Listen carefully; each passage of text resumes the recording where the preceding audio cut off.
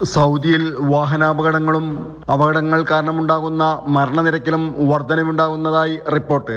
റംസാൻ ആരംഭിച്ച് അഞ്ച് ദിവസം തികയാറാകുമ്പോഴേക്കും കണക്കുപ്രകാരം റംസാനിലെ ഇഫ്താറിന് തൊട്ടു മുമ്പുണ്ടാകുന്ന വാഹനാപകടങ്ങളെ തുടർന്നുള്ള മരണങ്ങൾ ഏകദേശം ഇരുപത്തേഴ് ശതമാനം വർദ്ധിച്ചു Saudi general authority for roads ആണ് ഇത് സംബന്ധമായ വിവരം നൽകിയത്. റംസാനിലെ പ്രഭാത ഭക്ഷണത്തിന് മുമ്പുള്ള സമയങ്ങളിൽ റോഡപകട മരണങ്ങളിൽ പത്ത് ശതമാനം വർധനവുണ്ടെന്നും അതോറിറ്റിയുടെ കണക്കുകൾ വ്യക്തമാക്കുന്നുണ്ട്.